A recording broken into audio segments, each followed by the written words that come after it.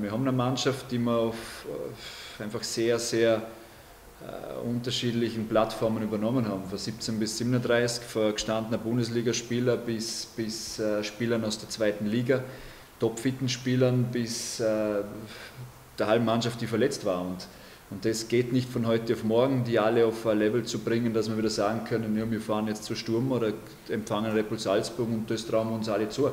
Wir müssen in jedem Spiel knallhart dafür arbeiten, jedes Training dafür nützen, dass wir auf das Level kommen.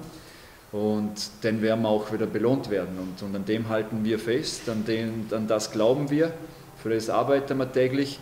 Und da muss das Umfeld eh auch selber für sich entscheiden. Im Verein müssen die Leute dafür entscheiden. Sie sehen mehr, wie wir arbeiten. Das Umfeld muss sich dann sein Bild bei den Spielen machen und dann auch die Entscheidung treffen, ja, halte dazu, halte Glaube an das Ganze. Wir glauben dran und werden Woche für Woche versuchen, das Maximum abzurufen. Und und deshalb ist bei uns intern ruhig, aber auch sehr ehrlich und, und sehr offen, weil wir diese Spiele auch sehr sauber analysieren und, und, uns das auch zu Herzen nehmen. Und es muss keiner draußen glauben, dass wir das Heimspiel nicht gewinnen wollen oder dass uns so eine Niederlage wie gegen Wacker nicht schmerzt. Weil wir arbeiten die ganze Woche dafür und das schmerzt uns noch viel mehr wie jeder andere, der auf der Tribüne sitzt. Und, und trotzdem werden wir auch wieder Heimspiele gewinnen und an dem Moment, an dem klammern wir uns fest und an den glauben und für den arbeiten wir jede Woche.